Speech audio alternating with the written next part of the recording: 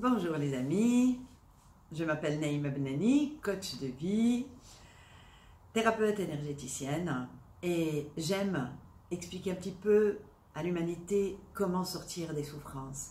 C'est quoi les souffrances, ce que nous sommes, comment on vit la vie, comment la loi de l'attraction nous amène, nous amène telle ou telle expérience? Alors le sujet d'aujourd'hui que je vais aborder en plusieurs vidéos, c'est le fléau du siècle, du monde entier, la solitude. Ce concept, parce qu'il n'est qu'un concept, et oui, vous allez le comprendre avec les différentes vidéos. C'est un concept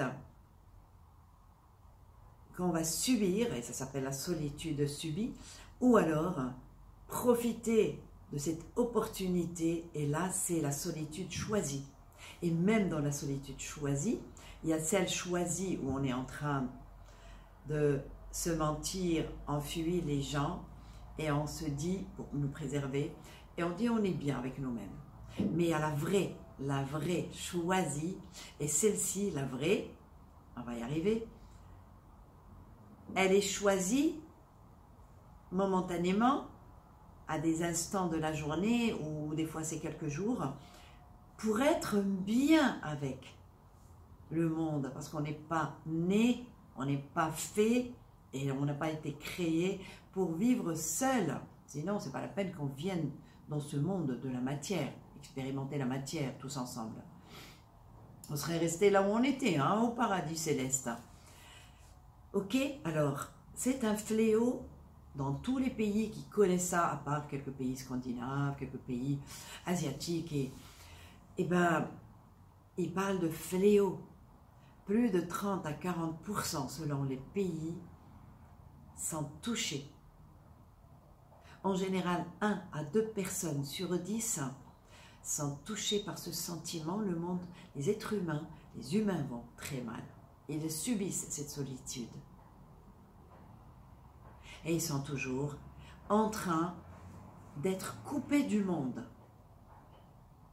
Cette solitude subite l'humain, ne sachant pas comment la vie est, puisqu'il y en a qui, connaissent la solitude dans le bon sens, jusqu'à même toucher le nirvana, ils sont toujours en train de, la subir parce qu'ils sont dans la non-vérité.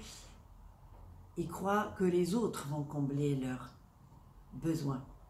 Personne ne peut combler notre besoin. Et ce vide et cette souffrance terrible, quand la solitude est subie, Personne. Et c'est ces personnes-là, par méconnaissance de la vie, comment elle fonctionne, se rejettent eux-mêmes parce que leur estime de soi, et je compatis avec leurs souffrances, c'est des souffrances terribles. Elle est au plus bas, leur estime de soi. Ils se voient minables, ils se voient inutiles. C'est toutes ces pensées qui rôdent dans le, dans le mental. Et ça les tue.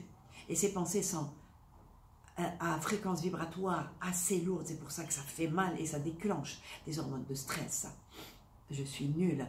Et ce qui les tue, c'est surtout le regard des autres. Je suis inutile, je suis nulle, je ne suis pas belle, je ne suis pas beau, je ne sers à rien dans ce monde, autant mourir, c'est des phrases qui encombrent leur mental et qui encombrent leur corps et qui encombrent davantage l'ego. Et c'est ce qui fait qu'ils subissent cette solitude.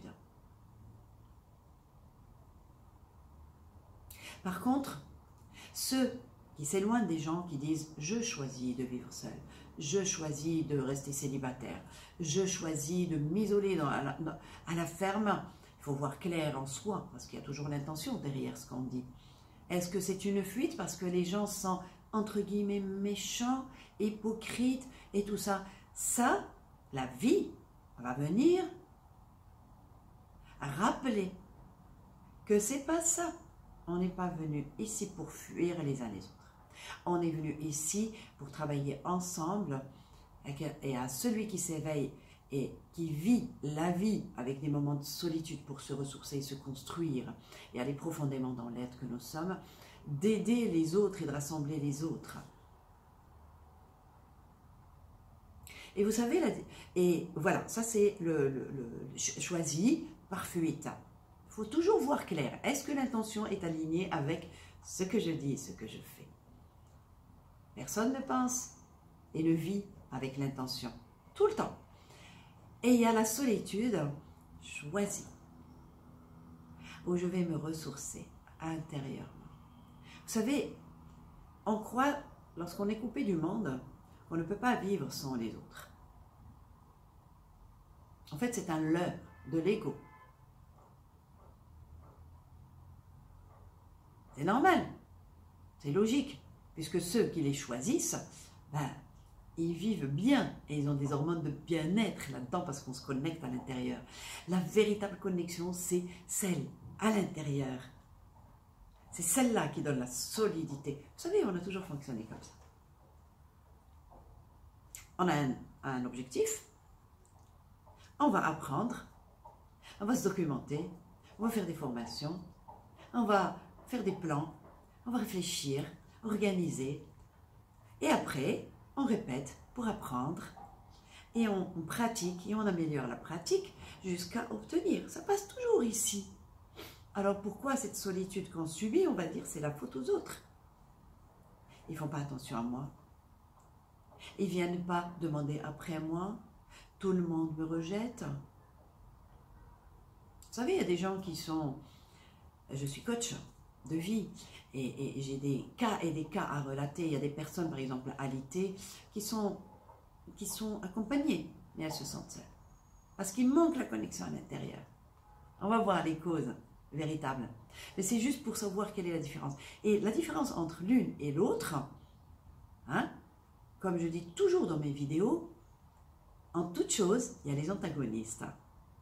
Je peux la voir à partir de l'ego ou je peux la voir à partir de l'être, c'est-à-dire ce qu'elle est effectivement, vraiment. Là, je suis dans l'égarement, il faut que j'apprenne ce que c'est pour basculer de ce contraire vers l'autre, vers la vérité, ou même pas. C'est pour, comme on dit, s'aligner au point zéro, à ce qui est correct, ce qui est fait par la, la divinité, par le Créateur, comme il a fait les choses dans le bon sens, dans le sens correct, pas le bon sens, le sens correct.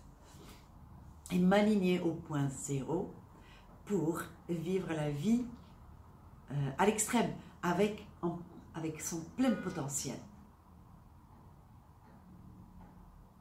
Et au niveau corporel, pourquoi je me sens mal dans l'une et très bien dans l'autre C'est la chimie du corps. J'apprends, je sais ce que c'est et ce que je suis et comment passer de la colère au bonheur. Comme je passe du bonheur à la colère, le corps il ne fait que exécuter, mais je vais apprendre ça pour passer à l'autre chimie, c'est-à-dire libération des endorphines par le cerveau. Et c'est comme ça que je me sens bien. Mais bien sûr, c'est de passer de l'ego à l'être. Le bonheur est à portée de main. Ouais. Et on est là pour apprendre, hein. apprendre des connaissances et les pratiquer. Et encore évaluer, et encore apprendre pour améliorer, et évaluer, et pratiquer, et ainsi de suite. On est ici sur Terre, utilisant tout ce qu'on nous utilisons pour nous retrouver. Alors voilà, je vous ai donné dans cette petite vidéo la définition de la solitude, un manque, un vide, un manque de connexion extérieure et intérieure subite l'estime de soi basse et on s'isole, on va même jusqu'à l'isolement ou carrément le suicide, mais là on parle de la solitude et du sentiment de solitude. Et, et l'autre. Et vous savez que même en étant en couple, en étant en famille,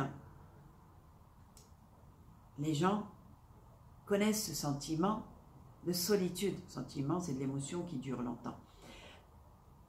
Ils sont bien, ils sont entourés, hein. Ils mangent ensemble, peut-être, des fois. Ils sortent ensemble, ils font des activités où ils sont entre amis, mais il y a un vide intérieur. Et comme on dit vide intérieur, il faut le combler par soi. C'est la connexion intérieure. On va voir comment. Voilà. Euh, comment dire euh, Si on si on prend pas notre mal en patience. C'est même pas ça. Si on ne prend pas le concept qu'on est en train de vivre, l'expérience qu'on est en train de vivre à bras le corps, par les cornes, nous-mêmes pour répondre à nos besoins, nous-mêmes pour savoir comment basculer de l'un à l'autre et ensuite passer à l'action, parce que si ici c'est pas solide et charismatique, il y a une présence et je pourrais pas avancer. Je pourrais pas avancer. Je pourrais pas bouger. Et on va savoir un petit peu les effets sur la santé et comprendre pourquoi je ne peux pas bouger quand je, quand subis la solitude. Voilà, sur ce, c'est la définition. Si vous avez des questions, euh, posez-les. Si vous aimez euh, cette vidéo, cliquez sur j'aime et abonnez-vous à ma chaîne et à ma page Face. On apprend toujours. Et j'espère apporter, non, je souhaite, je désire apporter des éclairages pour que les gens s'éveillent aux vérités et qu'il y ait moins de souffrance et égayer la vie parce que franchement la vie elle est magnifique.